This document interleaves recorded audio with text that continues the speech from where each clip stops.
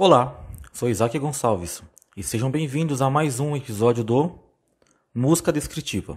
E no episódio de hoje, iremos conhecer um compositor cosmopolita que nasceu na Alemanha, viveu na Itália e naturalizou-se na Inglaterra, dono dessa peça.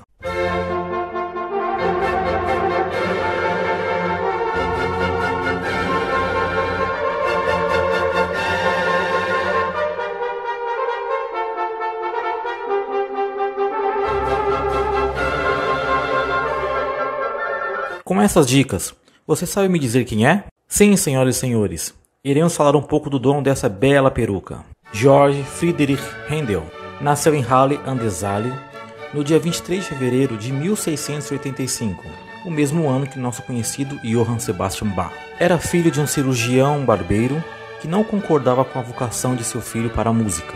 Fez os estudos gerais no Gymnasium de Halle e durante esse tempo aprendeu, às escondidas do pai, a tocar órgão e cravo. Aos sete anos, quando acompanhava o pai a Weissensfeld, conseguiu tocar no órgão da capela da corte, diante do duque da Saxônia e do mestre-capela Krieger. Com apenas 11 anos de idade, Handel já era um virtuoso no cravo e órgão. O duque de Weissensfeld, encantado com o talento do jovem, convenceu o pai a deixar o filho a estudar música com Zahol, o organista principal da Catedral de Halle. Em 1697, Handel foi nomeado organista assistente daquela igreja e, em 1702, organista titular. Aos 17 anos, já era admirado como organista pelo futuro grande compositor George Philip Telemann, de quem se tornou grande amigo.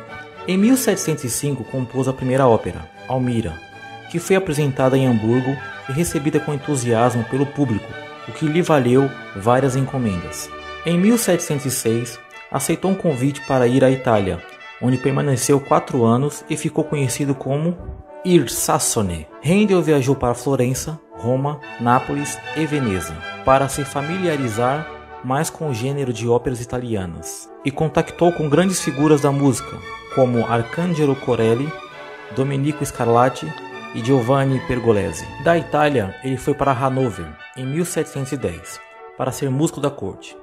Mais tarde, no mesmo ano, ele parte, em licença de trabalho, para a Inglaterra, onde a ópera italiana passava a ser a mais celebrada forma de entretenimento e onde os cantores castrados estavam deslumbrando a todos com seu brilhantismo e poder vocal. Em 1713, o compositor se instalou definitivamente em Londres. Recebeu proteção real graças às composições Ode para o aniversário da rainha e Utrecht Tedeum e Jubilate, para celebrar a paz de Utrecht.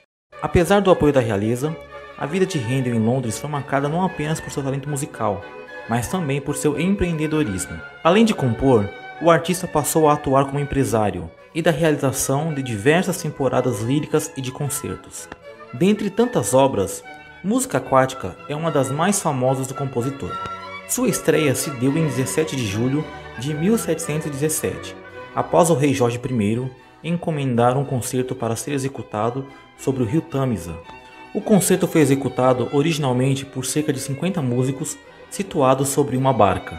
O rei Jorge teria gostado tanto das suítes que pediu a seus músicos, já esgotados, que tocassem por três vezes durante o tempo do percurso. Alguns anos mais tarde, após naturalizar-se inglês, foi fundado o Teatro de Ópera de Londres, cujo elenco foi formado por Handel, mas falhou como empresário e, desiludido com o teatro, passou a dedicar-se à oratória. Criou Esther, Atalaia, Saul, Israel no Egito, Sansão, Messias, com 51 movimentos divididos em três partes, e o famoso Aleluia.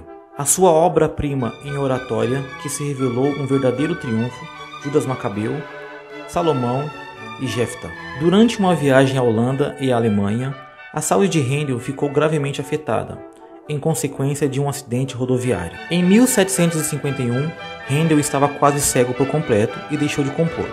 No entanto, continuou a dirigir as suas oratórias. Faleceu no dia 14 de abril de 1759, em Grosvenor Square, em Londres, e foi enterrado na Abadia de Westminster, com honras nacionais. Ei, gostou? Se gostou, indique para um amigo. Se não gostou, indique para um inimigo. Não se esqueça de curtir, comentar, compartilhar, ativar as notificações e salvar. Você pode encontrar mais conteúdo no canal do YouTube e no site www.isaacgonçalves.com. Até a próxima!